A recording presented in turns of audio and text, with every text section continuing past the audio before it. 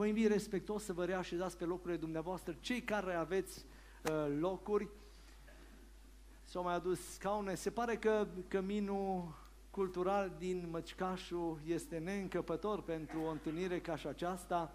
Îi dăm slavă lui Dumnezeu. Spuneam uh, mai adineauri în introducerea pe care am făcut-o că suntem la finalul unei săptămâni, iată-ne la începutul verii 2024 și în această perioadă o echipă de oameni al lui Dumnezeu, credincioși, care îl iubesc pe Dumnezeu, unii dintre ei născuți în Statele Unite, pentru câteva uh, zeci de zile sunt în România și doresc să facă o lucrare extraordinară. Lucrarea aceasta este o lucrare de laudă pentru Dumnezeu. Prin cântul lor îl vor glorifica pe Dumnezeu.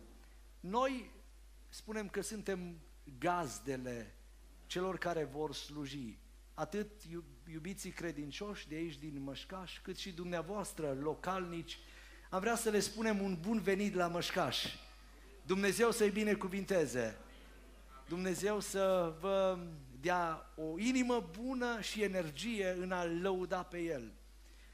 Este un grup format din uh, tineri care vin din Statele Unite, din Arizona, uh, parte a Bisericii Maranata, împreună cu ei se află păstorii acestei biserici, fratele Nelu Filip și fratele John Meseșan, pe care Dumnezeu îi va folosi în a aduce mesaj din partea lui pentru noi. Spunem și în dreptul lor, Dumnezeu să îi binecuvinteze.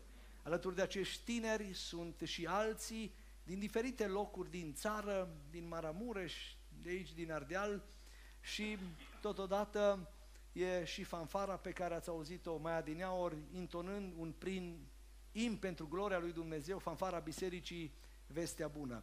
În momentele următoare am vrea să venim înaintea acestui Dumnezeu mare despre care am spus că El ne onorează să-i spunem Tată și voi citi un singur verset din Sfânta Carte, din Cartea Psalmilor, de ce îl lăudăm pe El? În momentele următoare, împreună cu cei care sunt aici, vom spune că Dumnezeu este înconjurat de splendoare, în glorie și totuși El privește spre noi oamenii. Lăudați pe Domnul.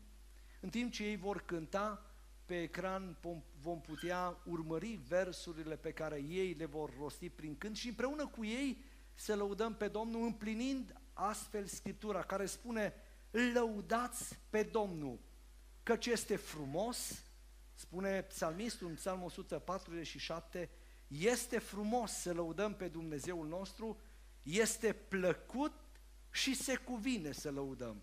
Dumnezeu merită să, ia, să primească lauda, este plăcut să lăudăm și totodată se cuvine să lăudăm. Invit aici în față echipa de închinare Maranata Worship, care împreună cu ei și noi vom rosti prin cânt splendoare de împărat, în slavă îmbrăcat. Așa este Dumnezeul nostru. El merită toată lauda. Să lăudăm împreună pe Dumnezeul nostru. Amin.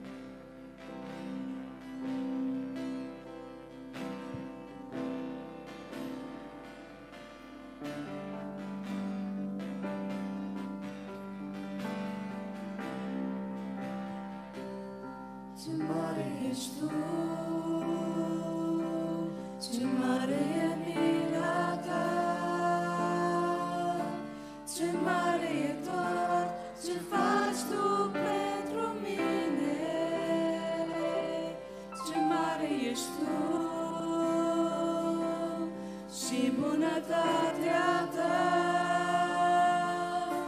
Mă umple atunci când îți cânt Ce mare ești tu. Căci dragostea ta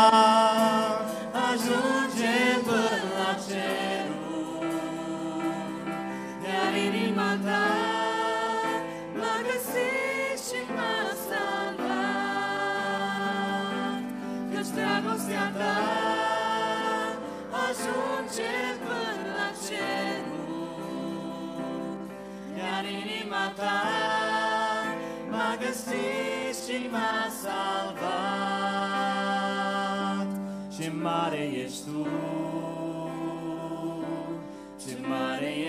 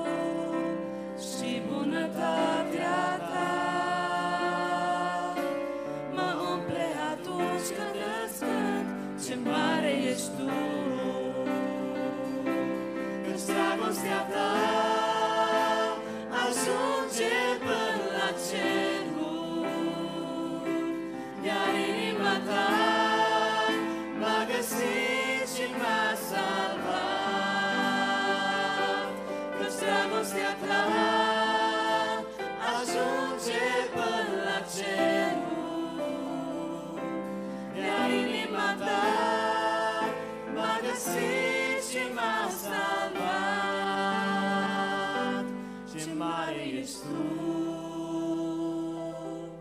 ce mare e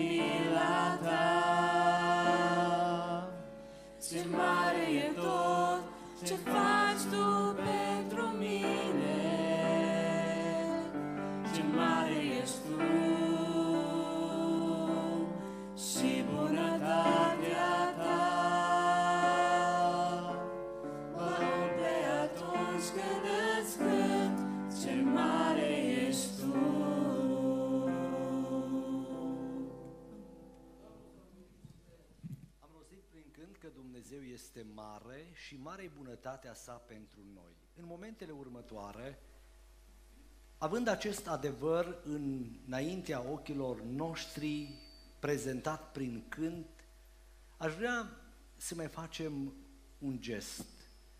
Dacă la începutul întâlnirii noastre am spus prin rugăciune lui Dumnezeu Tatăl nostru, cântul spunea, ce mare lucru faci tu pentru mine, cel mai mare lucru pe care l-a făcut cerul și Dumnezeu pentru noi oamenii a fost că l-a trimis pe Iisus Hristos, Fiul Său în lumea noastră. V-aș invita să vă ridicați în picioare și în acest timp uh, invit și corul de tineri să vină aici în față să se pregătească uh, pentru a continua să laude pe Domnul și în timp ce ei se pregătesc, aș dori să facem uh, liniște în sufletele noastre. Chem aici în față pe fratele Otinel Maxim să înalțe o rugăciune către Dumnezeu, cerând ca măreția sa să fie arătată în dreptul nostru. Nu știu care e problema pe care o porți, cu siguranță Dumnezeu o știe. Nu știu care e durerea pe care o ai, nu știu care e frământarea pe care o duci cu tine, dar Dumnezeu acesta mare despre care am cântat, Dumnezeu acesta mare despre care am spus că ne copleșește și dragostea Lui ajunge până la nori, e gata să se apropie și de ființa ta. Uh, Împreună cu fratele Otinel, care va înălța rugăciune către uh, Dumnezeu în momentele acestea, ne îndreptăm și noi glasul către El, către Dumnezeu și cu frământarea și cu durerea noastră îi spunem Domnului să-și arate mila sa în dreptul nostru personal.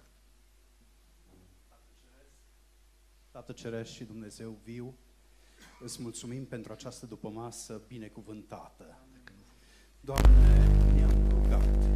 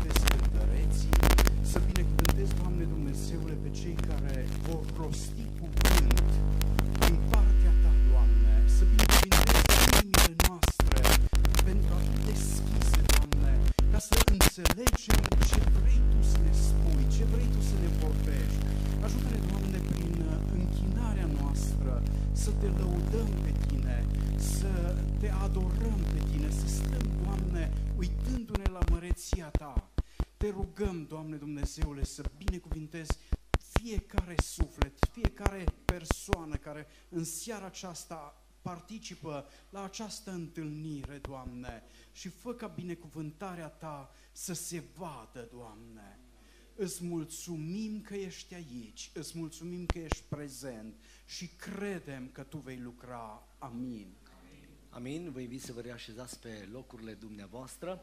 Încheia rugăciunea, fratele Otinel, îți mulțumim că ești aici. Corul care este aici în spatele meu, format din zeci de tineri din Statele Unite și din România, vor începe să laude pe Domnul cu câteva cântări corale care deschid da, o serie de um, laude la adresa lui Dumnezeu Și primul vers spune în felul următor, ești aici, să fii sigur că Dumnezeu este aici. Este o făgăduință pe care El ne-a lăsat-o în Scriptură, că acolo unde doi sau trei sunt adunați în numele Său, El este prezent. Împreună cu ei lăudăm pe Domnul, mai apoi fanfara uh, Bisericii Vestea Bună va mai lăuda pe Domnul cu un imn și vom asculta un prim mesaj rostit de fratele păstor John Meseșan, Dumnezeu să fie slăvit. Amin.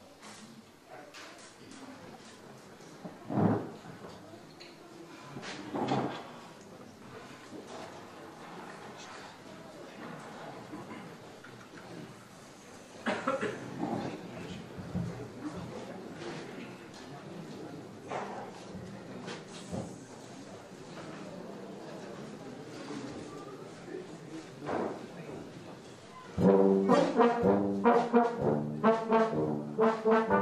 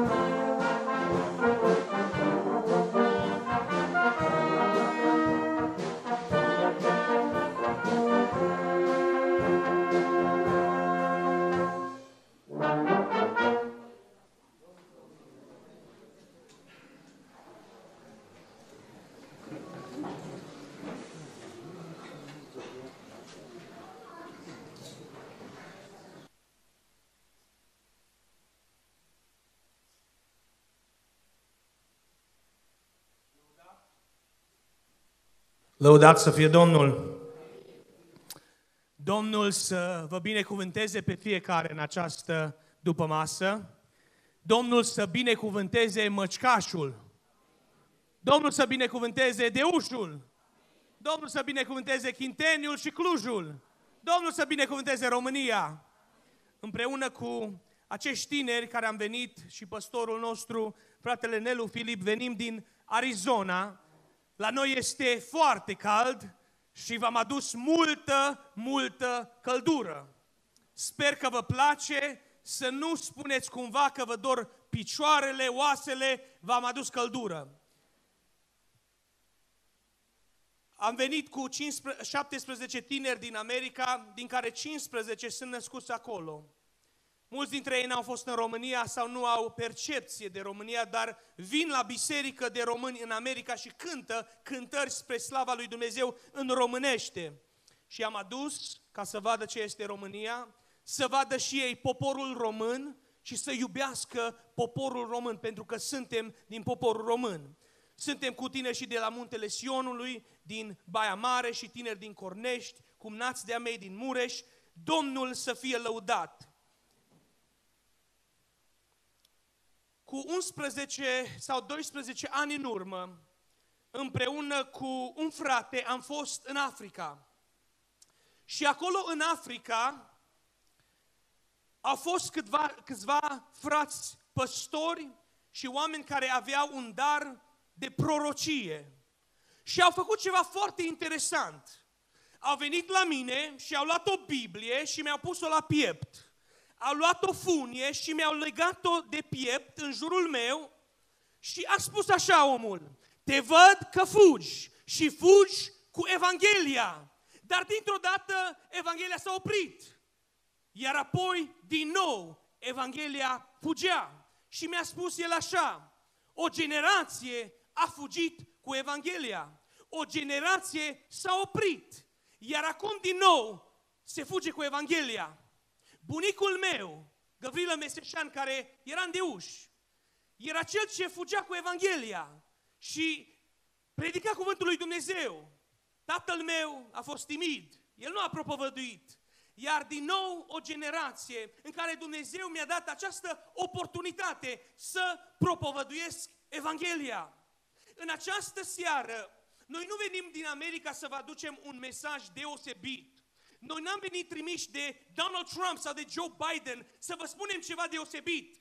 Ba, nici de la București sau de la primari, care, candidații care dumneavoastră vă spun atât de multe lucruri. Nu ei ne-au trimis, ci mesajul nostru nu este al nostru, este mesajul lui Hristos. Și mesajul lui Hristos spune astfel, după ce a fost închis Ioan, Iisus a venit în Galileea și propovăduia Evanghelia lui Dumnezeu.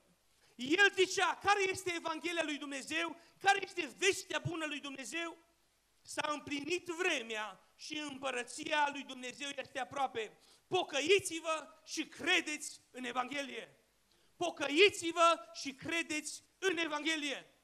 Aș vrea să vă întreb, pentru că percepțiile sunt diferite în poporul român. Unii cred că dacă crezi în Evanghelie, ești un evanghelic. Și asta nu-i bine, noi suntem ortodoxi, noi nu avem voie să fim evanghelici.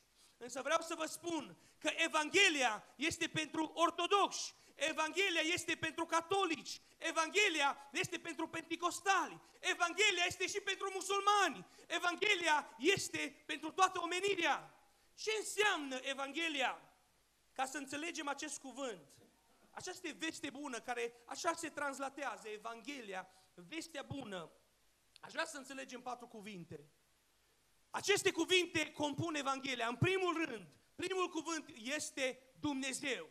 Al doilea cuvânt este omul. Al treilea cuvânt este Hristos. Și al patrulea răs, uh, uh, cuvânt este răspuns. De ce Evanghelia începe cu Dumnezeu? Pentru că Scriptura, Biblia, Sfânta Biblie ne spune în Genesa 1 cu 1 că la început Dumnezeu a făcut cerurile și pământul.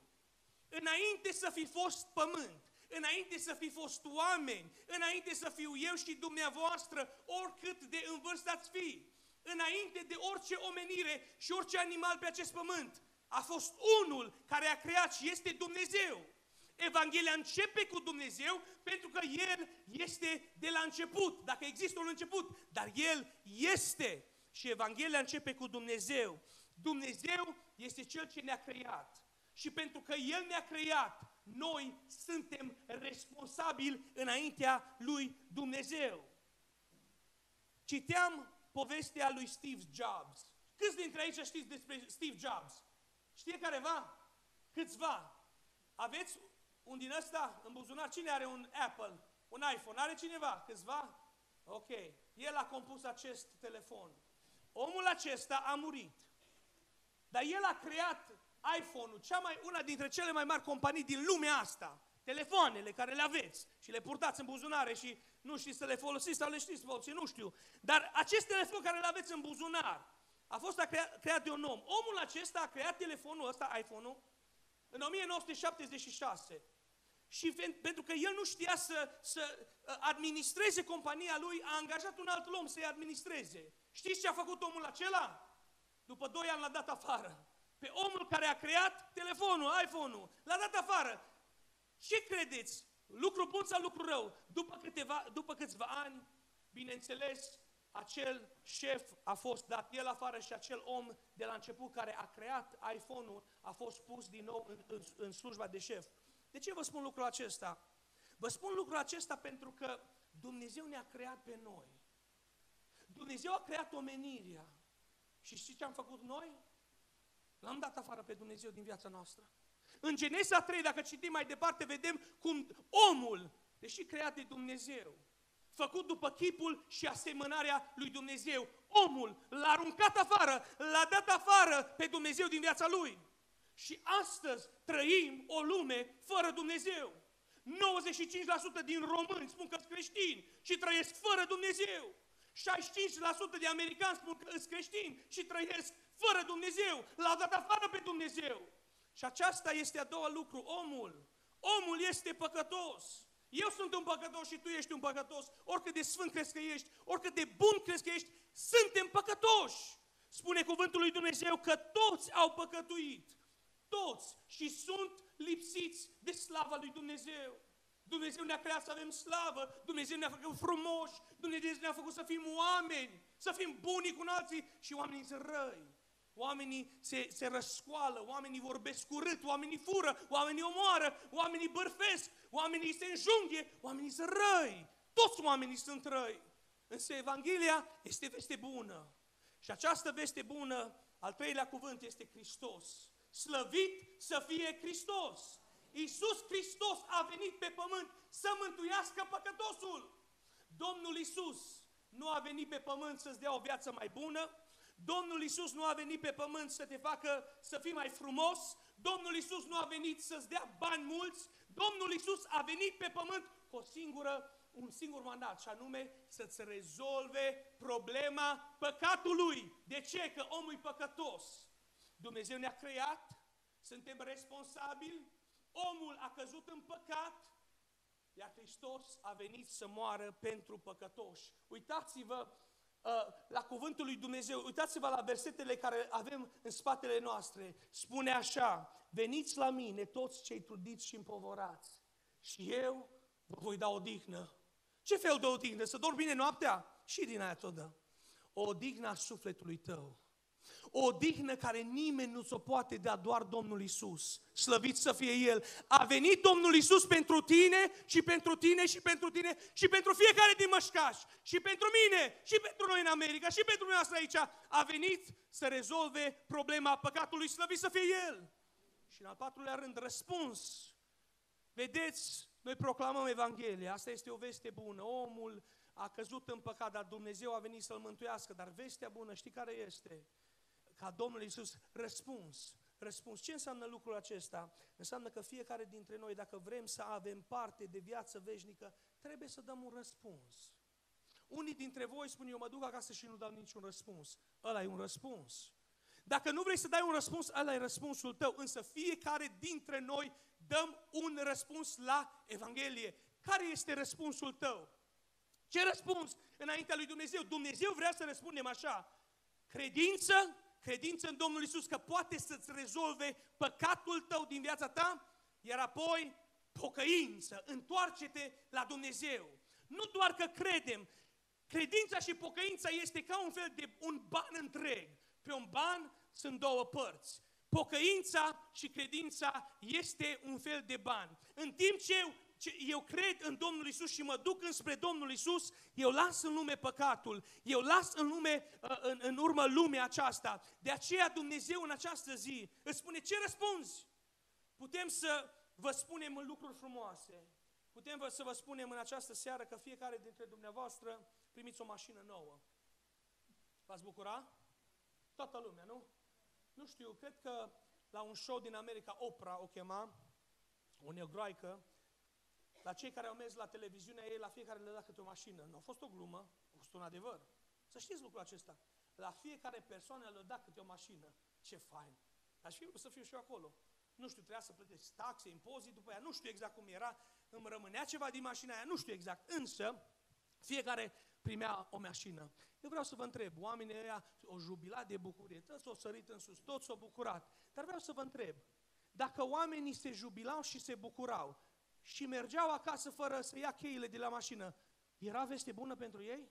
Îi ajutat cu faptul că doar cineva le-a spus că au o mașină nouă și mergeau acasă fără mașină. I-a ajutat cu ceva? Vestea aceasta nu.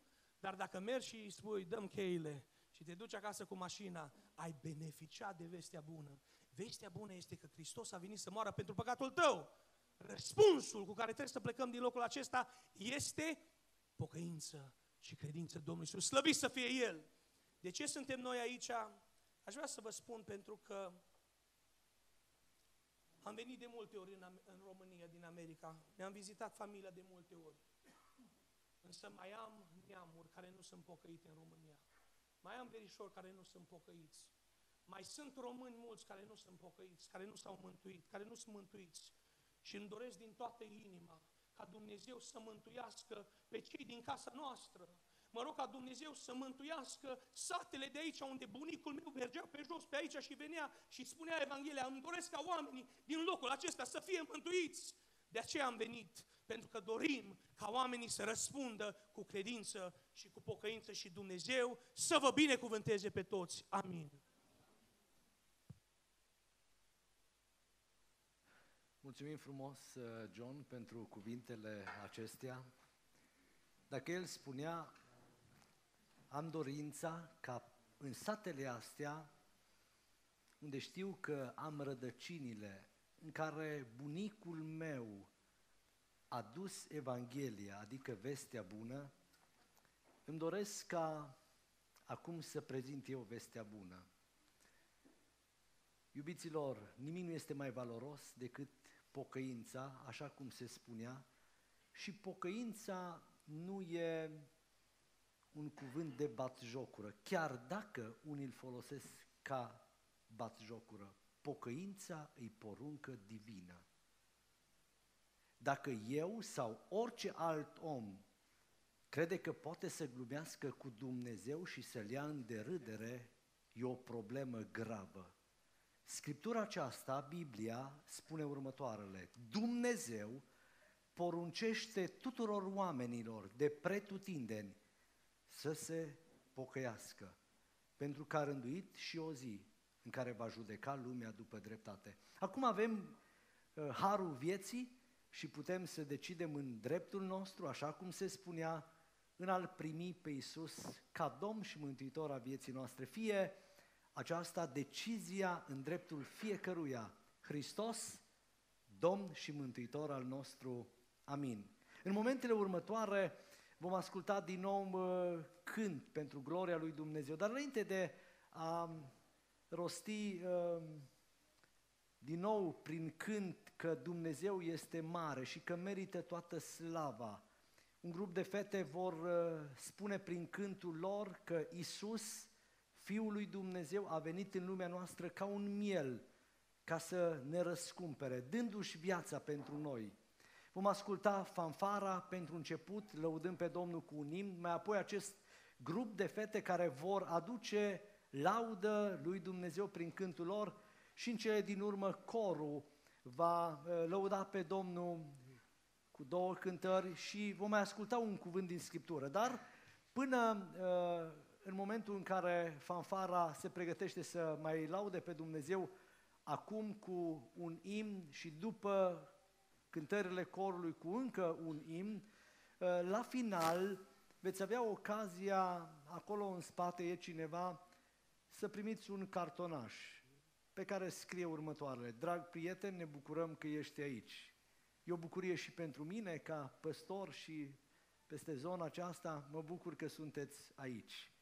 De cele mai multe ori cu dumneavoastră, consăteni de aici din Mășcaș, m-am văzut numai în momentele triste, nu? La înmormântări. Uite că astăzi suntem la o altă întâlnire, în care plin de bucurie putem să-i cântăm lui Dumnezeu. Și pe acest cartonaș uh, pe care o să vi-l dăm și un pix, doar să notați, vreau să primesc o Biblie. Răspundem cu toată dragostea la următoarele nevoi. Vreau să primesc o Biblie, chiar aș vrea să cunosc mai multe despre Dumnezeu și să am o relație cu El. Poate am nevoie de rugăciune și suntem aici slujitori al lui Dumnezeu și ne putem ruga specific pentru o problemă pe care o ai, că Dumnezeu ascultă rugăciunea și pentru toți prietenii în seara aceasta, cei care ne vizitează din Statele Unite, au adus un cadou, cel mai frumos cadou. E cuvântul lui Dumnezeu, e Biblia. Și spunea la fiecare prieten care în seara aceasta este aici, dăm o Biblie. O Biblie de piele, o Biblie frumoasă în care e cuvântul lui Dumnezeu. Poate ai o Biblie acasă, poate nu ai, dar acest cuvânt ne poate deschide ochii și înțelege voia lui Dumnezeu pentru noi. Mai stăm aproximativ un ceas, mai apoi ne vom despărți. Cu siguranță fiecare în inima lui, în mintea lui, va frământa cele auzite prin predicare și prin cântare. Dar mă rog ca Dumnezeu să continue să vorbească în fiecare inimă. Fanfara să laude pe Domnul, corul de fete vor lăuda pe Iisus Hristos mielul răscumpărător. Corul, din nou fanfara și mai apoi vom asculta cuvântul Scripturii rostit prin fratele păstor Nelu Filip și spunem Dumnezeu să îl binecuvinteze cu un cuvânt proaspăt din partea Lui pentru noi și pentru sufletele noastre. Amin.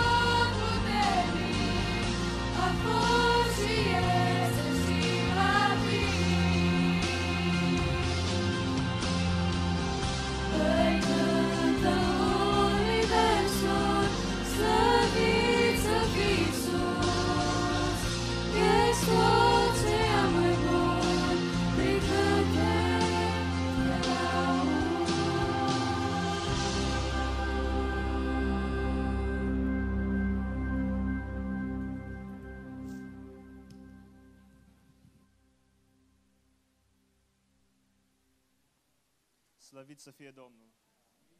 Am cântat că Dumnezeu nostru este sfânt. Și dacă am vrea să fim și noi într-o zi sfinți și salvați, avem nevoie de El. Următoarea cântare care vrem să o cântăm cu toții, cu corul de tineri, este Eu de Tine am nevoie.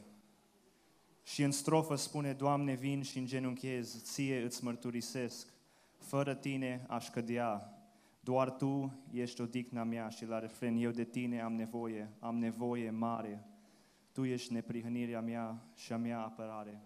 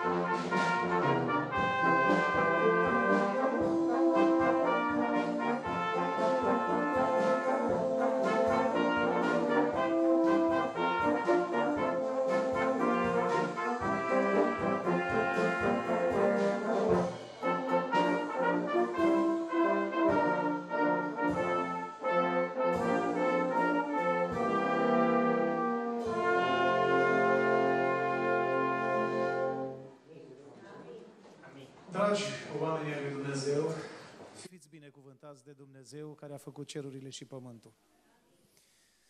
Vreau să vă mulțumesc în primul rând pentru prezența dumneavoastră în locul acesta. Pentru mine înseamnă foarte mult. Când un om dă atenție Evangheliei, apreciază însuși Dumnezeu.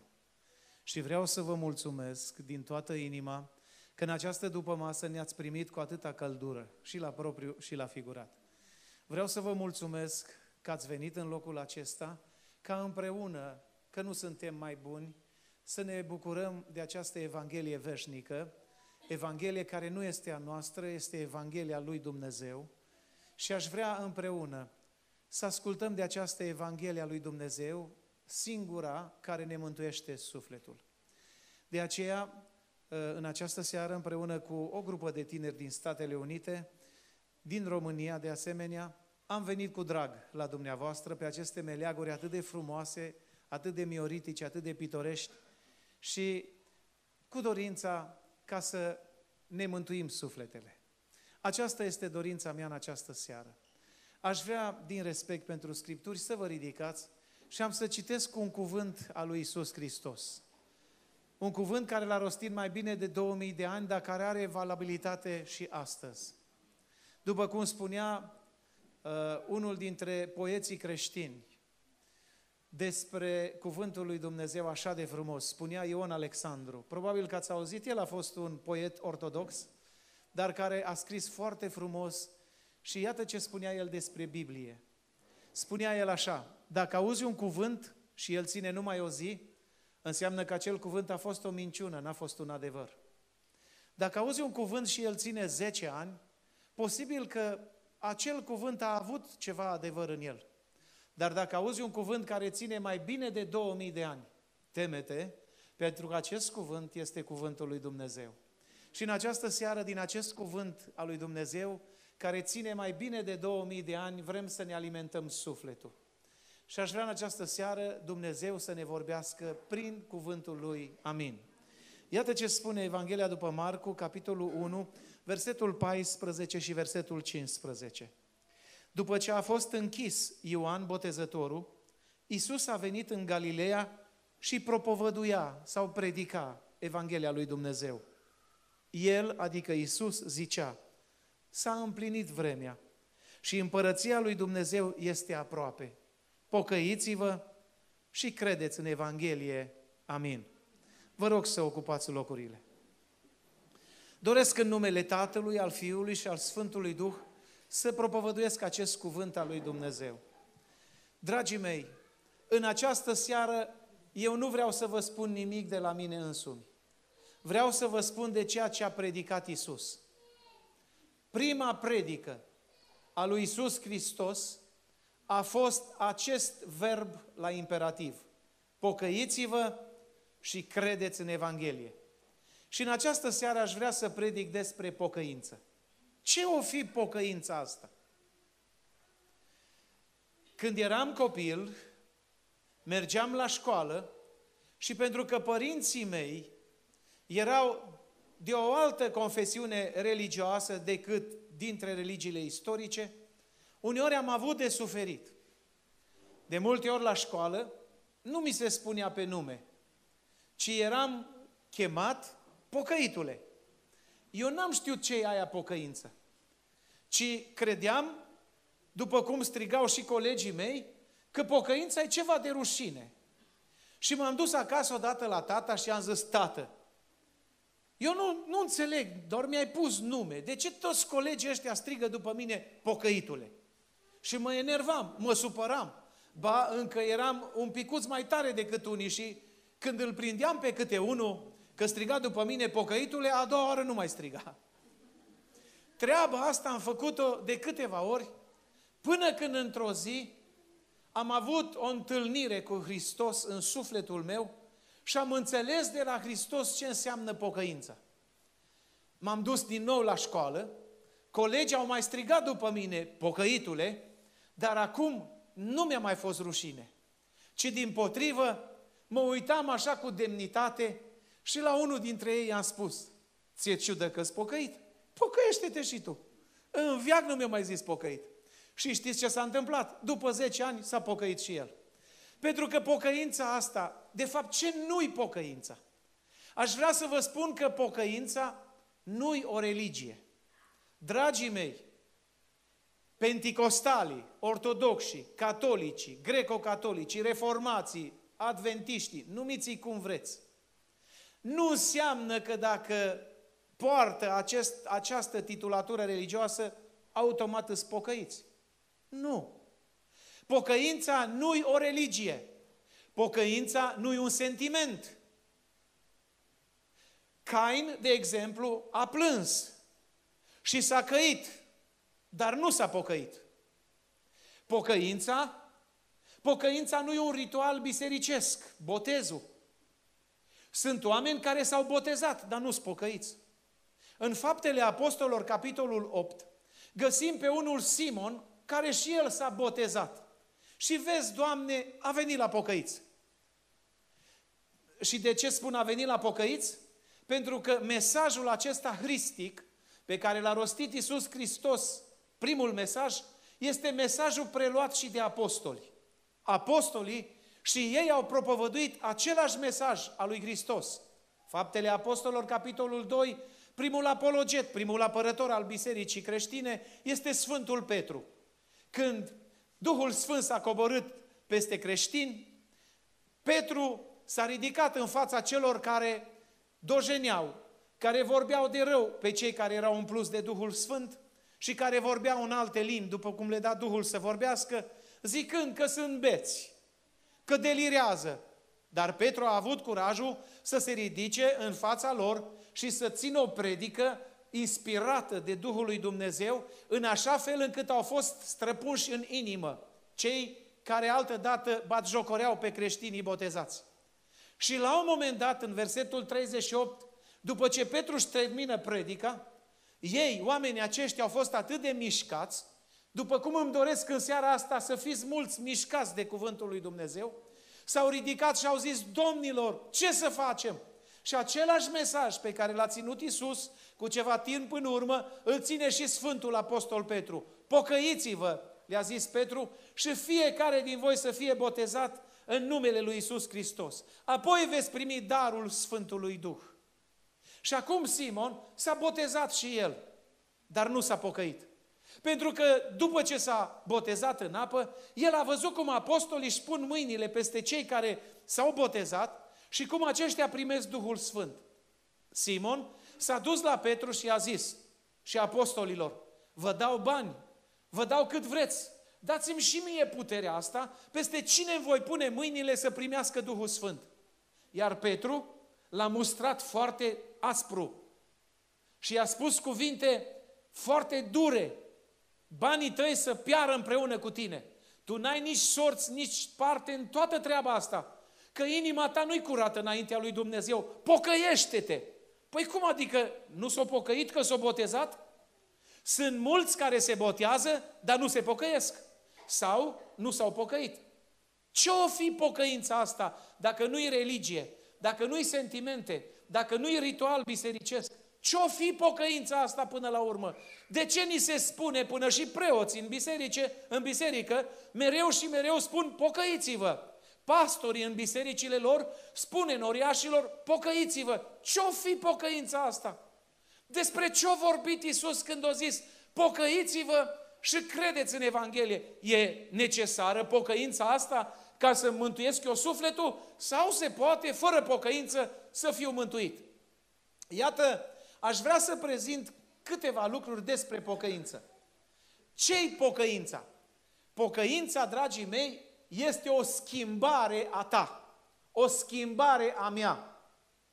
Noi de multe ori vrem să-i schimbăm pe alții, dar noi când vrem să ne schimbăm? Am auzit de multe ori soț plângându-se despre soție. Dacă s-ar schimba ea, să știi că aș fi om de treabă. Dar dacă te-ai schimbat tu, să vezi ce femeie de treabă s-ar face ea. Dar de multe ori noi vrem să, să-i schimbăm pe alții, dar nu vrem să ne schimbăm pe noi. Ce-o fi pocăința asta? Ce anume trebuie să se schimbe în noi? Nu-i bine așa cum suntem noi? Eu am auzit mulți oameni care spun, dar de ce să mă pocăiesc? Că n-am dat în cap la nimeni, n-am furat pe nimeni, n-am stricat casa nimănui, dar de ce să mă pocăiesc? Pentru ce să mă pocăiesc? Și acum aș vrea să, ve- să vezi de ce să te pocăiești. De ce trebuie să ne pocăim? Ce schimbări face pocăința asta într-un om? Pentru că mulți dintre creștinii care merg la biserică sunt doar religioși, dar nu sunt credincioși. Sunt oameni legați de obiceiuri, de tradiții și această tradiție nu-i doar în Biserica Ortodoxă, poate să fie și în Biserica Pentecostală, poate să fie și în alte biserici. Când o religie câștigă ani, formează și un fel de tradiție și tradiția formează monotonie și monotonia este distrugătoare. Pentru că atunci când mergi la biserică și nu mai simți pe Dumnezeu trecând prin tine, când slujbele ți se par doar formale, când nu te mai mișcă nimic în biserică, când nu mai plângi în biserică, să știi că e o problemă foarte serioasă. Ai devenit, cum spune Biblia, un om împietrit. Un om care nu mai primește nimic. Aș vrea să spun o întrebare. Când ai plâns ultima dată în biserică?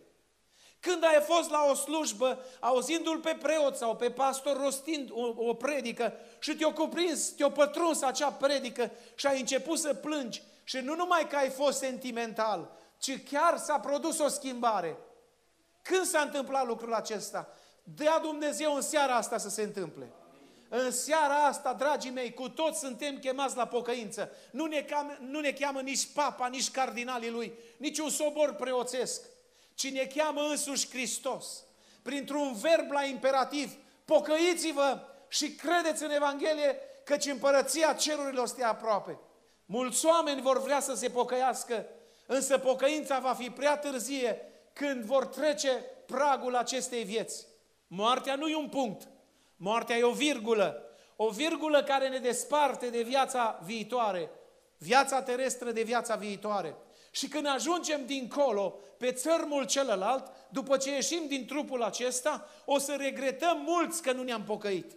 O să regretăm că am auzit de atâtea ori spunându-se pocăiți-vă și nu ne-am pocăit. Biblia spune și Isus a rostit o pildă. Era vorba despre un oarecare Lazar și unul care era bogat. În fiecare zi bogatul ducea o viață de lux. Dar săracul Lazar n-avea nimic. Iar pe lângă că era sărac, era și bolnav. N-avea absolut nimic. Și săracul acesta cu vremea a murit. Și a fost dus de îngeri în sânul lui Avram. A murit și bogatul. Numai că destinația celor doi este diferită. Cel bogat a ajuns într-un chin ca de moarte. În iad, în Hades, în Sheol. Și de acolo a putut să vadă un crâmpei din raiul lui Dumnezeu. Și acolo, șocat, l-a văzut și pe săracul Lazar. Unul pe care în viața pământească nu l-a băgat în seamă. Dar acum în viața cerească îl bagă în seamă. Părinte Avrame, l-a recunoscut și pe Avram. Lasă-l pe Lazar să-și moaie vârful degetului în apă și un picur de apă să-mi trimită. Grozav mă chinui în văpaia asta. Are el câteva rugăciuni care le face, dar îți rugăciuni prea târzii. Niciuna dintre aceste rugăciuni Dumnezeu nu le mai ascultă. Și auziți ce spune la un moment dat? Părinte Avrame, îmi amintesc că am acasă cinci frați. Trimite-l pe Lazar sau pe cineva din morți să meargă să spună fraților mei să se pocăiască. Să nu ajungă și ei în acest loc de chin. Că poate dacă merge cineva din morți și le spune să se pocăiască, se vor pocăi și nu va mai fi problemă să ajungă și ei aici. Plătit fie cu mine iadul acesta. Știți că sunt oameni care zic, păi ce-o fi cu mine, ce-o fi cu alții, ce-o fi și cu mine. A, nu mă interesează pe mine pocăința și cele sfinte. Însă Avram a spus în felul următor, au acolo legea, pe Moise și pe proroci. Dacă n-ascultă de ei, nu o să asculte nici dacă ar învia cineva din morți. Dragii mei, cineva a înviat din morți. Hristos, Fiul lui Dumnezeu. Dumnezeu din Dumnezeu adevărat care a venit în lumea noastră, a murit pentru noi, a înviat pentru noi, s-a înălțat la ceruri pentru noi și curând va să vină tot pentru noi, binecuvântat să fie numele Lui. Oare câți credem noi în această pocăință? Iată ce este pocăința, ce schimbă pocăința într-un om. De ce e nevoie de pocăință? Religia nu schimbă. Sunt foarte mulți oameni religioși. Avem o biserică lumească și o lume bisericească. Oameni religioși, dar oameni neschimbați. Oameni firești. Oameni care se duc la biserică și își amintesc de Dumnezeu doar duminica, dar în cursul săptămânii n-au nevoie de Dumnezeu. Este exact ce spunea savantul Iorga. Oamenii l-au închis pe Dumnezeu în biserică pentru ca pe afară să trăiască ei cum vor. O mare realitate. Iată ce schimbă pocăința. În primul rând, pocăința îți schimbă vorbirea. Dumnezeu ne-a dat, diferit de regnul animal, posibilitatea comunicării, dragii mei. Comunicăm prin gesturi. Fiecare dintre dumneavoastră, în momentul acesta, comunicați cu mine prin mimica feței. Îmi dau seama că dacă stai și te uiți înspre mine, te interesează mesajul și poate chiar te rogi și zici, vorbește-ne, Doamne, că robii tăi ascultă. Dar dacă ai o altă privire, dacă stai așa dormind, dacă cine știe unde te uiți, îmi dau seama că nici nu te interesează mesajul. Comunicăm prin mimica feței, comunicăm prin ținută, prin îmbrăcăminte, comunicăm prin gesturi. Dumnezeu se uită și la gesturile noastre, comunicăm prin absolut orice. Uh, și spunea Freud, unul din uh, psihanaliști, că cel al cărei buze stau mișcate, vorbește, uh, stau nemișcate, vorbește și prin vârful degetelor, adică prin gesturi. Știți, noi românii avem tot felul de gesturi, ca și americanii. Nu? Dacă eu fac un gest de genul ăsta, ce înseamnă? Că ești dus cu sorcova, nu? Dacă eu îți fac așa, ce înseamnă? Îți arăt eu ție, nu? Și fiecare avem gesturi prin care putem să comunicăm. Dar mai presus de orice, Dumnezeu ne-a lăsat limbajul. Putem comunica prin cuvinte. I-ai mulțumit vreodată lui Dumnezeu că poți să vorbești? Știți ce har este să poți să comunici, să spui cuiva că îl iubești, să iei copilul tău în brațe, să te uiți la copilul tău și să-i poți exprima sentimentele interioare prin viu grai. Te iubesc, dragul meu. Știi ce mult contează să-i spui, nu știu când i-ai spus soției ultima dată că o iubești. Dar ce mult contează să-i spui soției că o iubești. Ce mult contează să-i spui soțului că îl iubești. Ce mult contează să le spui oamenilor din jur că iubești. Contează limbajul. Știți ce s-a întâmplat? Dumnezeu ne-a creat diferit de regnul animal. Astăzi ni se implementează că noi venim din regnul animal. Adică omul vine din maimuță. Ce bazaconie! Vreau să vă spun că numai omul fără Dumnezeu merge spre maimuță. Noi și eu și dumneavoastră mă gândesc, credeți că suntem coroana creațiunii lui Dumnezeu. Dumnezeu ne-a creat și ne-a creat mai presus de regnul animal prin faptul că ne-a dat acest dar al limbajului, al exprimării libere, ă, al comunicării. Binecuvântat să fie Dumnezeu.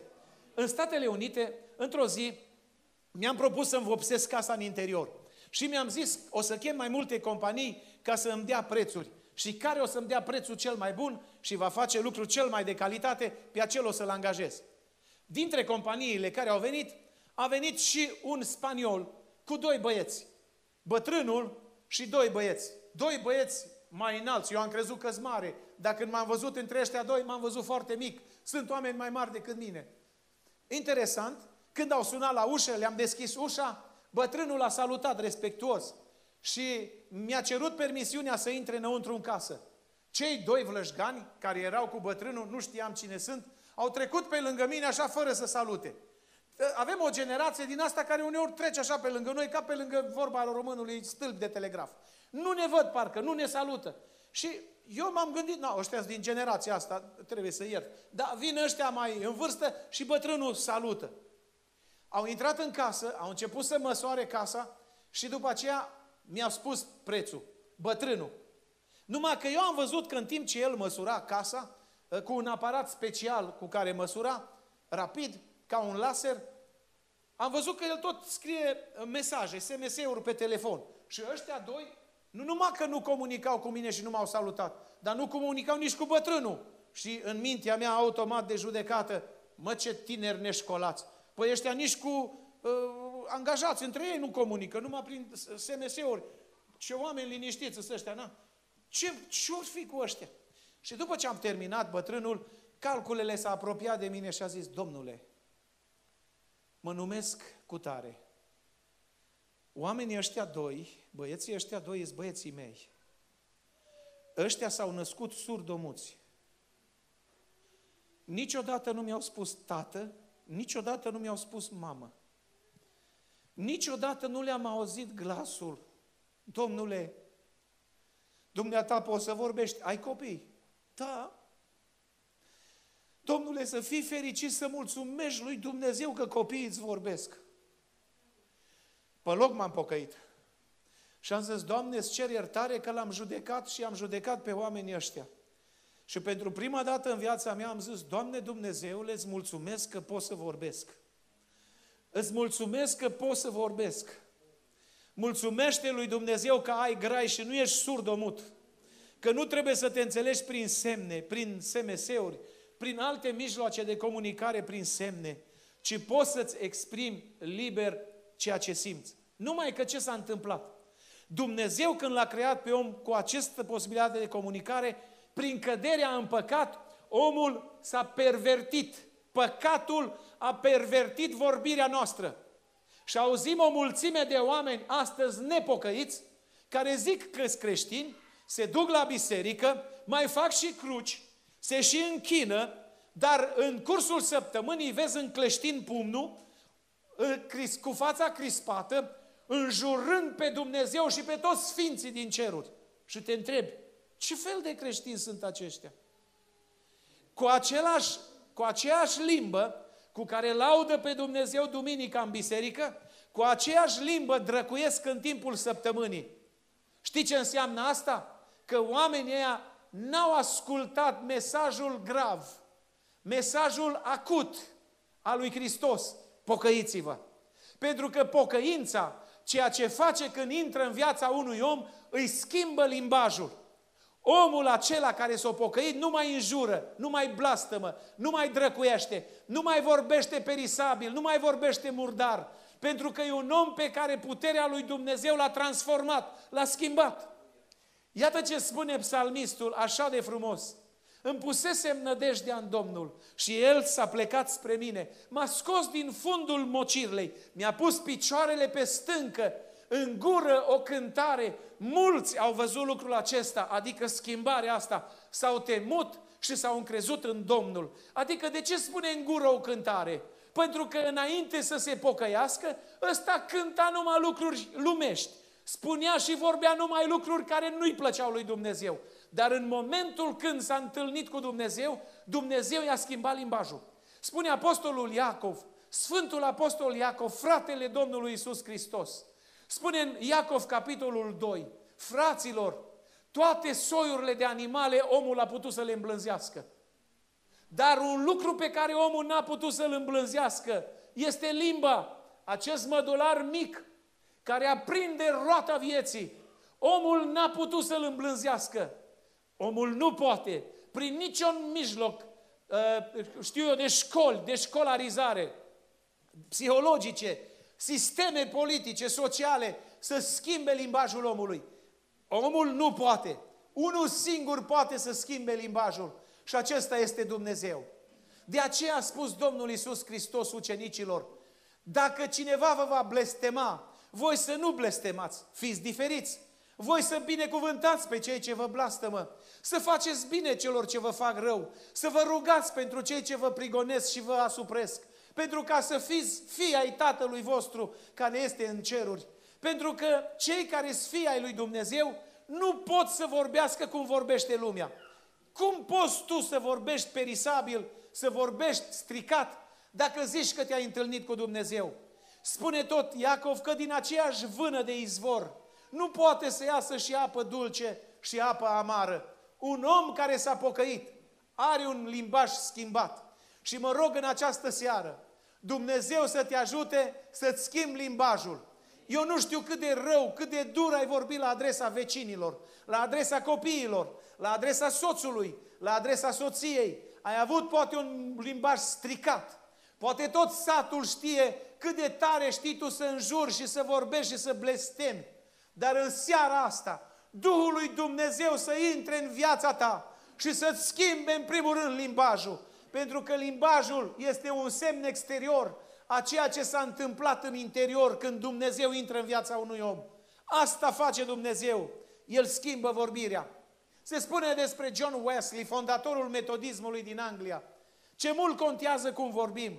Că într-o zi și el, ca noi, mergea din localitate în localitate, fără sisteme acustice, fără ca să aibă un cor, ci singur cu un cal mergea și avea o evanghelie mare.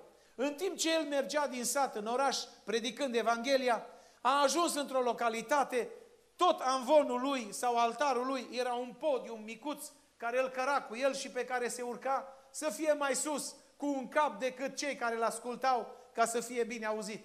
În timp ce stătea pe podium, a simțit o mână străină când se pregătea pentru o evangelizare. Cineva îi băgase mâna în buzunar, un hoț, și îi furase banii. Când a simțit el că cineva îl buzunărește, a fost destul de târziu, pentru că hoțul a reușit să ia banii și să fugă. A sărit el, Wesley, de pe podium, fugea acum după hoț să-l prindă, dar hoțul era mai sprinten de picior și n-a reușit să pună mâna pe el. Atunci Wesley s-a gândit, ce aș mai putea să fac? Și a strigat în urma lui următoarele cuvinte. Ascultă, într-o zi ai să regreți fapta care ai făcut-o, dar atunci când vei regreta, Aduți aminte că sângele Domnului Isus Hristos care a curs pe cruce te spală și pe tine de acest păcat. Și aceste cuvinte le-au ajuns pe hoț și i-au intrat direct în inimă. A ajuns hoțul în locul unde stătea el, într-o peșteră, a golit lucrurile care le furase, printre care a scos din buzunar și banii care îi furase de la predicator. Când a pus mâna pe bani și a vrut să-i numere, dintr-o dată parcă a auzit în conștiința lui cuvintele, ai să regreți fapta care ai făcut-o, dar aduți aminte că sângele lui Isus care a curs pe cruce te spală și pe tine de păcate dacă te pocăiești. S-a temut hoțul, a pus banii înapoi și a zis, așa ceva n-am pățit niciodată. A zis el o să treacă vreo două, trei zile și după două, trei zile o să tacă conștiința și o să poți să cheltui banii predicatorului. Dar trei zile la rând, mai acut și mai acut vocea conștiinței striga, într-o zi ai să regreți fapta care ai făcut-o. Și n-a mai rezistat hoțul. A zis, niciodată n-am pățit așa ceva. Mă duc și-i duc banii înapoi predicatorului. Nu mai trebuie bani de la predicator niciodată. Și a luat banii, s-a dus să-l caute pe Wesley și l-a găsit într-o altă localitate unde predica Evanghelia. S-a apropiat de podium în timp ce Wesley predica același mesaj de dragoste a lui Dumnezeu și de chemare la pocăință. Hoțul s-a apropiat de podium și aștepta să termine Wesley predica. Și după ce Wesley a terminat predica, cum obișnuia el să facă chemare, a zis, este aici cineva care vrea să se pocăiască. Cineva care vrea să-și schimbe viața. Cine vrea care, că cineva care vrea să se mântuiască. Știți care a fost primul care a ridicat mâna și s-a dus în față? A fost chiar hoțul. Domnul Wesley a zis hoțul. Vă amintiți că în urmă cu vreo patru zile ați fost jefuit de un hoț?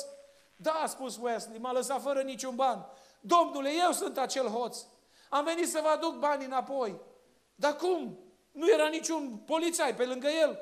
Cum ai venit așa în mod deliberat? Cum de ai venit să-mi aduci banii? Domnule, zice, dacă m-ați fi prins, dacă m-ați fi bătut, dacă mi-ați fi făcut orice, n-aș fi avut o remușcare a conștiinței, dar cuvintele care le-a strigat când eu fugeam de dumneavoastră mi-au ajuns și mi-au pătruns în minte și în inimă. Și ăstea nu mai îmi dau pace. Domnule, aici sunt toți banii, nu v-am cheltuit niciun ban. Spuneți-mi, mă mai iartă și pe mine Domnul Isus Hristos și mă poate mântui și pe mine și să mă ierte de toate păcaturile și furturile care le-am făcut. Da, a spus Wesley, Isus Hristos te poate ierta și pe tine. Dragul meu, știi ce mult contează un cuvânt? Pușcăriile din Statele Unite și din România sunt pline de oameni pentru că părinții de tineri, pentru că părinții n-au știut să vorbească cu copiii lor.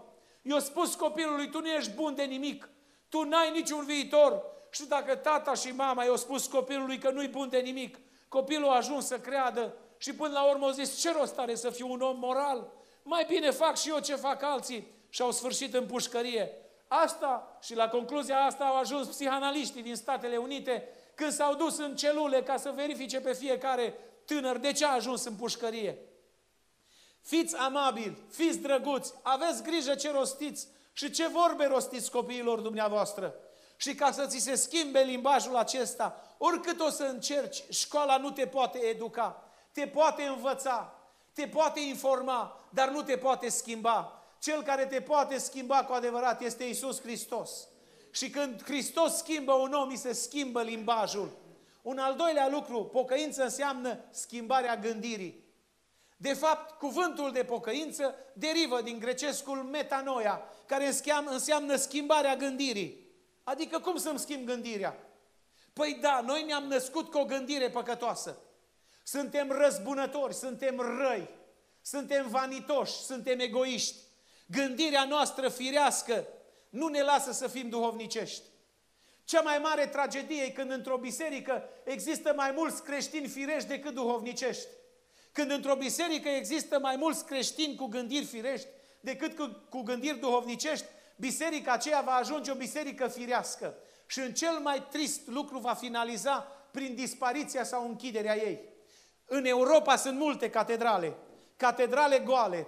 Am vizitat și Europa și am rămas atât de străpuns în suflet să vezi catedrala, ă, știu eu, Sfântul Petru, Notre-Dame și atâtea catedrale care sunt goale și sunt muzee. Ba să auzi că unele catedrale creștine s-au transformat în restaurante sau în cluburi de noapte. Mi se sfâșie, mi se rupe inima. Sau am văzut cel mai josnic lucru la adresa creștinismului, când nu mai țin minte exact țara, dar tot aici în Europa, când în jurul bisericii au făcut pișoare ca cei din oraș să meargă ca la toalete, să facă pe zidul bisericii. Ce poate fi mai dezgustător și mai insultant la adresa lui Dumnezeu decât asta? Stricarea gândirii. Știi că există unul care știe ce gândești?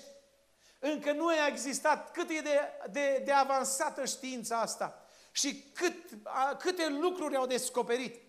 Încă nimeni n-a putut să descopere gândirea umană. Nimeni nu știe cum gândește un om. Inteligența artificială pe care astăzi o promovează știința, încearcă să facă, dacă se poate, să vadă cum gândește un om. Dacă poate să depisteze gândirea umană. Dar există unul care știe ce gândesc. Eu știu ce gândesc și mai este unul care știe ce gândesc. Știi cine e acesta? Iată ce spune în Psalmul 139 omului Dumnezeu. Doamne, Tu mă cercetezi de aproape și mă cunoști. Știi când stau jos și când mă scol. Și de departe îmi pătrunzi gândul. Căci nu mă ajunge cuvântul pe limbă. Când el este deja în faza de gândire, incipientă. Tu, Doamne, îl și cunoști în totul. Unde mă voi duce departe de fața Ta? Unde voi fugi departe de Duhul Tău? Dacă mă sui în cer, Tu ești acolo. Dacă mă cobor în locuința morților, iată-te și acolo. Dacă voi zice, întunericul mă va acoperi și se va face noapte lumina din prejurul meu, iată că nici întunericul nu este întunecos pentru tine, ci noaptea strălucește ca ziua și întunericul ca lumina. Acesta este Dumnezeu, unul care știe exact ce gândești. Procesul acesta de transformare, de schimbare a gândirii, numai Dumnezeu îl face. Într-o noapte s-a dus la, la Isus un învățător al legii. Nu s-a dus ziua pentru că ziua era rușine. Cum să mă duc ziua că mă vedea colegii ceilalți preoți? Și ce vor zice de mine? Mergi să stai cu tâmplarul din Nazaret de vorbă, tu care ești învățătorul legii? Și s-a apropiat Nicodim de Isus. Învățătorule, am o frământare, am venit noaptea la tine, că nu vreau să știe ceilalți colegi, mi-e rușine. Cum să mă duc la pocăiți, că mi-e rușine? Cum să stau de vorbă cu unul care e pocăit, că mi-e rușine? Am venit noaptea să nu mă vadă nimeni, să nu mă facă de rușine. Auzi, învățătorule, spunem și mie, spunem și mie cum să intru eu în împărăția cerurilor. Auzi, un învățător al legii nu știe cum să intre în împărăția cerurilor. Și Domnul Iisus îi spune, ascultă Nicodime, îți spun cum să intre în împărăția cerurilor. Cum, învățătorule? Păi Nicodime, dacă un om nu se naște din apă și din duh, nu poate vedea împărăția cerurilor. Nicodime, un verb la imperativ. Trebuie să vă nașteți din nou ca să intrați în împărăția. Doamne, zice, iartă-mă că te întreb. Nu știu, vorbești metaforic, că nu înțeleg. Păi se mai poate naște un om bătrân? Păi mai poate intra el în pântecele Maicii sale să se nască? Învățătorule, nu înțeleg ce vorbești. Nicodime, tu nu înțelegi ce vorbesc? Și ești învățătorul legii. Ți-am vorbit de niște lucruri și ți-am dat exemple pământești și nu le înțelegi. Dar dacă o să-ți vorbesc despre lucruri cerești, cum o să le înțelegi, Nicodime? Nicodime, nașterea asta din nou se face printr-o schimbare a gândirii. Adică, dacă ai gândit firește înainte, să-L lași pe Dumnezeu să intre în mintea și în inima ta și să te facă să gândești duhovnicește. Asta o face Dumnezeu. Îmi amintesc de unul din prietenii mei care mi-a povestit. Zice, tata a fost pocăit. Și eu, ca și copil, eram des lângă tata. O venit odată vecina noastră, zice, care nu era pocăită. Dar o femeie rea, o femeie cicălitoare, rea de gură de n-ai văzut. Și zice, am avut terenul lângă oaltă, pe lângă femeie, deci mejda era între terenul nostru și terenul femeii. Și femeia, doi metri, a intrat în mejda noastră, pe teren, și-o cosit, și-o săpat, și-o pus cartofi. Și am zis, tată, dar de ce o lași?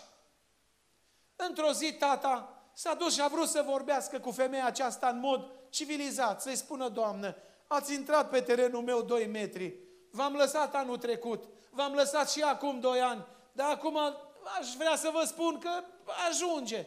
Și femeia asta zice, de față eram copil, l-a scuipat pe tata și i-a tras o palmă.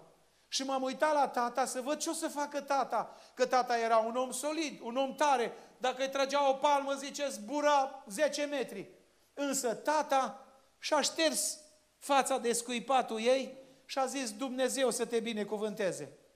Eu, copil fiind, am zis, tată, nu se poate. Când o să fiu mai mare, eu nu o să fac ce face tata. Ani au trecut. Zece ani au trecut. Și după zece ani, femeia asta a venit la adunare. O intrat în adunare și a zis, oameni buni, vreau și eu să mă pocăiesc, că de 10 ani am o remușcare în sufletul meu. Uitați ce am făcut acum 10 ani. L-am lovit pe pocăitul de aici, din adunare. L-am scuipat, i-am tras o palmă. Conștientă eram că am trecut în tarlaua lui. Dar el n-a zis nimic ci Dumnezeu să te binecuvânteze. Și când mi-a zis asta, zice, m-a așa, m-a apucat o părere de rău pentru ceea ce am făcut. Zece ani m-a tot chinuit conștiința, dar vreau să vă spun că vreau și eu să mă pocăiesc să fiu ca voi. Asta înseamnă pocăință. Schimbarea gândirii, să nu mai reacționezi ca lumea. Că dacă reacționezi și tu ca lumea, poți să fii penticostal că nu ești pocăit. Poți să fii ortodox că nu ești pocăit. Tu trebuie să fii diferit în gândire. Și această schimbare a gândirii nu o face un sistem, ci o face prezența lui Dumnezeu. Când Zacheu, mai marele vameșilor, dar mic de statură, s-a urcat într-un dud că a auzit că trece Iisus prin localitatea lui. A vrut să-L vadă pe Iisus. Și Iisus când a ajuns în dreptul dudului s-a oprit Parcă cineva i-a spus lui Isus că Zacheu e acolo. Niciodată nu se întâlnise Zacheu cu Isus sau Isus cu Zacheu. Dar mare e minunea că Isus a știut unde se ascunde Zacheu, cum îl cheamă pe Zacheu și l-a chemat pe nume Zachee, dă-te jos de grabă. Și în timp ce el luneca pe trunchiul copacului, cred că și-a făcut un proces al conștiinței. De unde știe cum mă cheamă? De unde știe că m-am ascuns în dud? Doamne, și-a început Zacheu era o schimbare a gândirii care o făcea Dumnezeu. Se cobora din dud, dar se cobora și din eu lui. Și din păcatele și nelegiuirile lui în care stătea ascuns. Doamne, zice, jumătate din avere o dau săracilor. Și dacă am năpăstuit pe cineva de patru ori îi dau înapoi. Dar Iisus nu i-a cerut asta. De ce o zis Zacheu asta? Știți de ce? Când te întâlnești cu Iisus, ți se schimbă gândirea. Și în această seară mă rog ca Dumnezeu să schimbe gândirea. Deci pocăință înseamnă schimbarea vorbirii, schimbarea gândirii și în al treilea rând pocăință înseamnă schimbarea faptelor. Dragii mei, știți de ce avem o carte în Biblie care se numește Faptele Apostolilor? Pentru ca noi să copiem faptele apostolilor. Dacă faptele noastre nu seamănă cu faptele apostolilor, să nu mai facem de rușine numele de creștini. Să nu mai zicem că semănăm cu Hristos, când suntem atât de diferiți de Isus Hristos. Ei, creștinii aceștia primari, au avut niște fapte cristice, fapte demne de urmat. Și atunci Luca, când și-a scris epistola, a zis, merită, după atâtea narări care le-am scris în această carte, să pun titlul cărții Faptele Apostolilor. Eu mă gândesc ce fapte avem apostolii din zilele noastre de azi, creștinii din zilele noastre de astăzi. Sunt ele fapte de oameni pocăiți sau sunt fapte de oameni nepocăiți? Ce fel de fapte avem? Am mai spus o întâmplare în mai multe locuri și vreau să vă spun și la dumneavoastră. Bunicul meu mi-a povestit o întâmplare pe vremea când era el copil. Nu mai țin minte, eu auzit-o de la tatălui sau de la bunicul lui. Dar ce mult contează faptele. În satul unde eu am crescut, Suciu de jos, lângă Târgu Lăpuș, în acel sat era un mixaj de oameni, țigani, evrei și români. Nici nu știu ce sunt eu, dar sunt. Și în oamenii aceștia uh, trăiau ca frații. La intrarea în sat era un evreu pe nume Rudi. Și evreul acesta era un om deosebit. Pentru că de fiecare dată când vinea cineva la noi în sat, Rudi fiind la intrarea în sat, sărea înaintea lui și îl întreba, cum te cheamă? De unde vii? Încotro te duci? Rudi era căsătorit cu o româncă. I-a adus Rudi, soției lui, mulți musafiri. Și soția era atât de supărată, la un moment dat, că o să mă bărbate, tu tot mă aduci musafiri, dar nici măcar nu spui când îi aduci. Și era necăjită femeia, că nu era pregătită. Nu mai sunt și alții în satul ăsta să facă bine, numai tu, mai lasă să facă și alții. Și Rudi mereu spunea, lasă nevastă, că faptele acestea vor vorbi odată. Într-o zi pe ulița satului a venit un copil îmbrăcat slăbuț, cu haine rupte. Când l-a văzut Rudi, s-a frânt inima. I-a sărit în drum și l-a întrebat, de unde vii copile, unde te duci? Și copilul a început să-i povestească povestea vieții. Auzi, părinții mei au murit în război. Mă duc la unchiul meu la Bistrița. El o să aibă grijă de mine.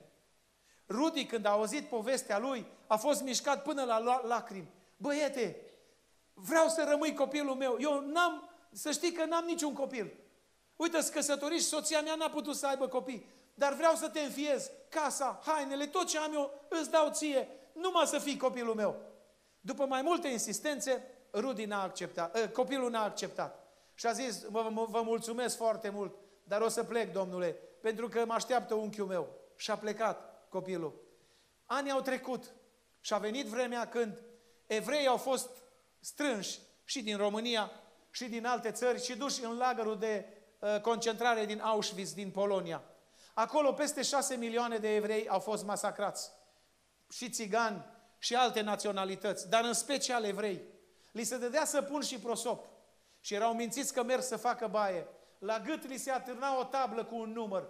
Când numărul acela era citit, evreul trebuia să pășească în față pe un platou și de pe platou încolonați erau duși în camerele de duș. Ziceau că să facă duș, dar de fapt erau camere de, gaz, de gazare.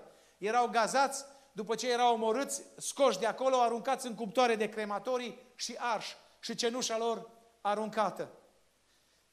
Într-o zi, când se citeau numerele, a fost citit și numărul lui Rudi. Și acum Rudi trebuia să pășească și el pe platou. Dar în timp ce mergea pe plat- spre platou, a trecut pe lângă ofițerul acela neamț care citea numerele. Și ofițerul neamț i-a zis halt, adică stai. Și s-a oprit. S-a uitat la el, la ofițer și ofițerul la Rudi s-a apropiat de el și cu o voce aproape stinsă, ofițerul neamț îl întreabă în limba română, tu ești Rudi? Și Rudi a înghețat. Dar de unde mă cunoști? Pentru că aici noi nu mai avem nume, suntem doar niște numere, niște CNP-uri. Noi nu mai avem nume. Și acest ofițer și-a luat boneta, a început să plângă. Îți amintești că în urmă cu 20 și ceva de ani, pe ulița satului, a trecut un copil care era în nimănui. Tu ai vrut să-l înfiezi, i-ai dat haine, i-ai oferit multe și ai vrut să-l faci să fie copilul tău. Dar el n-a vrut și a plecat. Da, a spus Rudi, mă amintesc. Eu sunt acel copil, a spus ofițerul. M-am dus în timp ce mergeam spre unchii mei, m-au prins nemții. M-au dus la școală în mod forțat și am ajuns în armata germană. Vreau să spun că am puterea să te eliberez din lagăr. Unde este soția ta? Era un gard mare care despărța femei de bărbați. Și indicând spre direcția în care era soția, a spus, este dincolo de gard, pusă și ea în închisoare. Astăzi, a spus ofițerul, am să dau ordin să fie eliberată și soția ta. Tu și soția ta veți merge acasă. Rudi s-a îndreptat înspre gardul care despărțea bărbați de femei și a strigat cât l-a ținut gura. Ți-am zis, nevastă, că faptele acestea vor vorbi odată. Singurul evreu care s-a întors acasă. Dragul meu, creștinul adevărat are fapte care seamănă cu Hristos. El le face în ascuns, în taină și nu le știe nimeni. Dar vine vremea când faptele acelea vor vorbi odată. Matei 25, la Marea Judecată, Hristos va despărți pe unii cum desparte păstorul oile de capre și va zice celor de la dreapta lui, veniți binecuvântații tatălui meu, demoșteniți împărăția care v-a fost făgăduită, căci mi-a fost sete și mi-ați dat de băut, am fost flământ și mi-ați dat de mâncat, am fost gol și m-ați îmbrăcat, am fost străin și m-ați primit. Când, Doamne? Că niciodată nu te-am văzut. Că dacă te-am fi văzut, ce te-am fi cinstit? Ori de câte ori ați făcut aceste lucruri, celor mai neînsemnați frații ai mei, mie mi le-ați făcut. Și apoi va zice celor de la stânga lui, plecați de la mine, blestemaților, în focul cel veșnic, căci am fost în temniță, n-ați venit să mă vedeți, mi-a fost sete, nu mi-ați dat de băut, am fost flământ, nu mi-ați dat de mâncat. Și aceștia vor merge în pierzare veșnică. Dragii mei, vreau să te vă întreb în această seară, vreți să ne pocăim? Vreau să știu câți de aici vor să se pocăiască. Iertați-mă că vă cer să faceți un gest care să-L vadă însuși Dumnezeu. Dacă vrei să te pocăiești, ridică o mână în sus și spune în seara asta, vreau să mă pocăiesc, Dumnezeu să vă binecuvânteze. Am văzut și acolo, ridicați încă și aici, Dumnezeu să vă binecuvânteze. Dumnezeu să te binecuvânteze. Dumnezeu să vă binecuvânteze. Toți trebuie să ne pocăim, dragii mei. Pocăința nu e o religie. Pocăința este ceea ce a adus Isus. Este o cerință a Lui. Dumnezeu să ne ajute să ne pocăim. Aș vrea în această seară, dacă nu vă cer prea mult, eu aș vrea să facem și o rugăciune pentru dumneavoastră. M-aș bucura dacă un grup de tineri ar putea să vină aici să cânte. Și în timp ce cântă, chiar dacă veniți aici în față, să ne rugăm pentru dumneavoastră cu mare drag și cu frică de Dumnezeu vreau să mă rog și să zic, Doamne, dă-le și acestor oameni pocăința, pentru că vă doresc din toată inima să intrați în împărăția lui Dumnezeu. Și în împărăția lui Dumnezeu nu intră cei religioși, ci intră cei ce s-au pocăit, cei ce s-au întors la Dumnezeu, cei care l-au primit pe Hristos în viața lor și Hristos le-a dat voi acești oameni ca Hristos să le facă o transformare. Le-a transformat vorbirea. Poate că ai vorbit murdar, ai vorbit cum nu place lui Dumnezeu. Cere lui Dumnezeu iertare și zic, Doamne, din seara asta nu mai înjur niciodată. Nu te mai blestem niciodată. Din seara asta, Doamne, vreau limba mea cât voi trăi să te laude pe tine. Și când buzele nu mai putea, suspinul meu te-a lăudat, Doamne, dar vreau să te laud. De-ai avut o gândire stricată și te-ai gândit la femei și te-ai gândit la stricăciuni. Dumnezeu a văzut ce te-ai gândit. Roagă-L pe Dumnezeu să-ți spele gândirea, să-ți dea o gândire duhovnicească, cum spune Pavel în Coloseni, să-ți spele gândirea murdară și să o înlocuiască cu o gândire duhovnicească. De-ai făcut fapte rele. Cere lui Dumnezeu în seara asta să-ți dea puterea să te schimbi, să nu mai faci fapte rele, ci zi, Doamne, ajută-mă să fac fapte sfinte. Haideți, ridicați înaintea lui Dumnezeu. În timp ce cântăm cu grupul acesta așa din toată inima, poți să vii și aici în față și am să mă rog împreună cu fratele păstor Bujeniță, împreună cu fratele Gean, cu păstorii acestei lucrări a lui Dumnezeu. Ne vom ruga ca Dumnezeu să-ți dea mântuirea. Dragii mei, știți ce a spus Isus? S-a împlinit vremea. Acum e vremea ta, nu lăsa să treacă vremea. S-ar putea mâine să nu mai ai vreme. O zis unul, Pavele, te-o asculta altă dată. Și n-a mai avut timp să-l asculte Felix, pentru că în locul lui a venit Porcius Festus și Felix a murit nemântuit. În seara asta trece Iisus pe aici, prin localitatea asta și te întreabă pe tine, vrei să te pocăiești? Vrei să te întorci la Dumnezeu? Eu te aștept cu aceeași dragoste cu care am stat situit pe cruce. Când mă rugam și ziceam, iartă-i, Tată, că nu știu ce fac. Cu aceeași dragoste vreau să te primesc și să te pocăiești. În timp ce se cântă, te rog să vii aici în față, nu-ți fie rușine. Iisus a spus, cine se va rușina de mine, mă voi rușina și eu de el, în fața Tatălui și a îngerilor. Nu-ți fie rușine să vii să spui, vreau să mă pocăiesc, să fac ce a spus Domnul Iisus Hristos. pentru că vreau să fiu mântuit. Dumnezeu să te binecuvânteze. Haideți să cântăm împreună și în timpul acestei cântări, haideți vă rog în față. Dumnezeu să vă binecuvânteze. Cântați.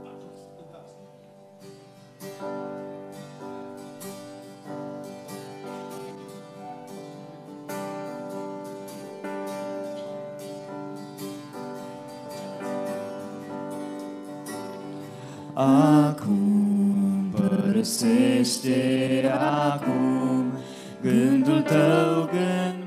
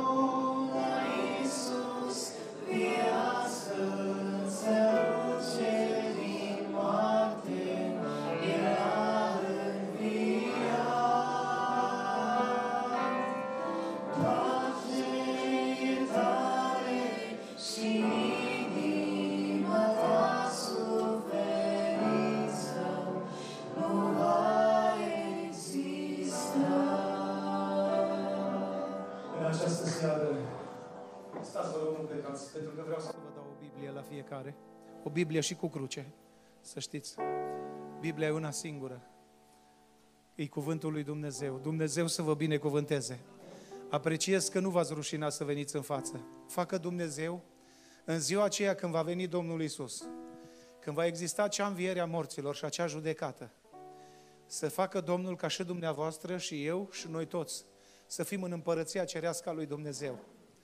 Dumnezeu apreciază oamenii care nu se rușinează de El, care vor să se pocăiască cu adevărat și să se întoarcă la Dumnezeu. Dumnezeu să vă ajute și decizia de a vă pocăi care ați luat-o, să vă ajute Dumnezeu să o împliniți. Mulți oameni spun, m-aș pocăi, dar mă tem că tare multe trebuie să țin.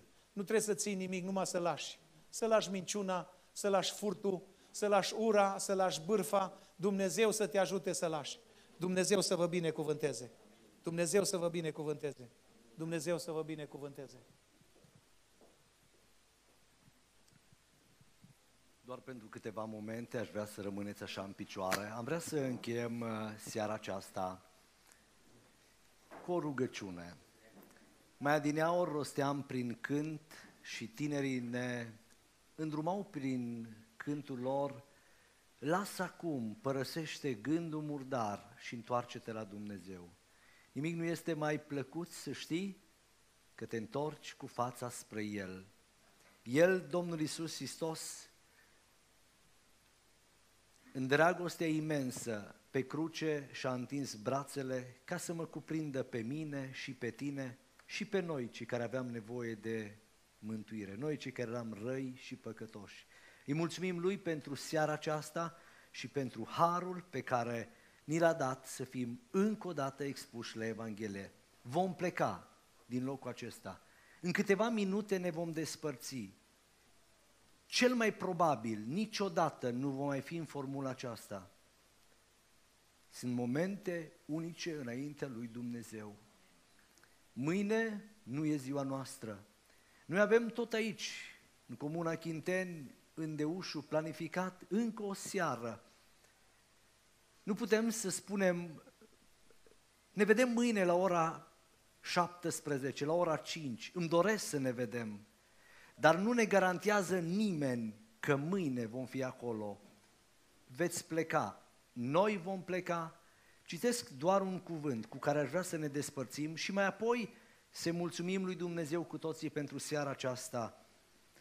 Cuvântul lui Dumnezeu spune așa, voi mă veți chema și veți pleca, mă veți ruga și vă voi asculta. Vom pleca în momentele imediat următoare.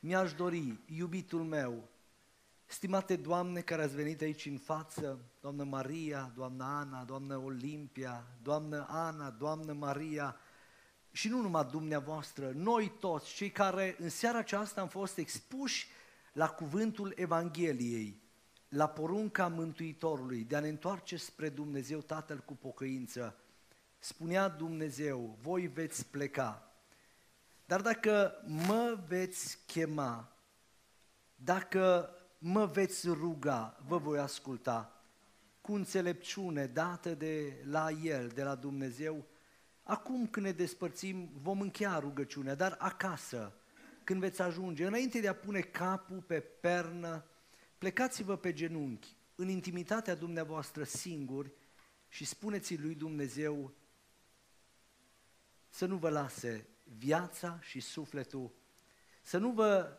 dea pace până nu intrați într-o relație personală cu El.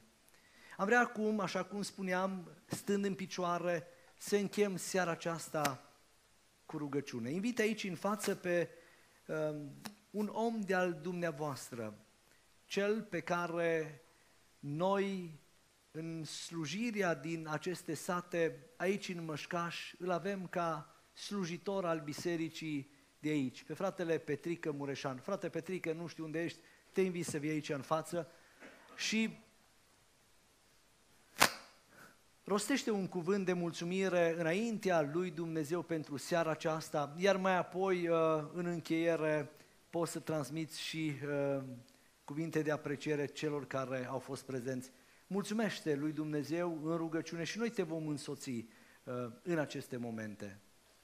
Doamne Dumnezeule, stăm înaintea Ta, înaintea măreției Tale, tu care ai putere și ai control asupra Universului și asupra vieților noastre. Îți mulțumim în mod deosebit pentru momentele acestea, pentru timpul petrecut în prezența Ta, în prezența Cuvântului Dumnezeu. Îți mulțumesc că ai îngăduit vreme de pace, vreme de har peste țara noastră, peste viețile noastre. Te rog, Doamne Dumnezeule, în seara aceasta să binecuvintezi viețile noastre, să binecuvintez cuvântul rostit în locul acesta, să fie un cuvânt care să aducă viață, să aducă rod, să producă schimbare în viața noastră.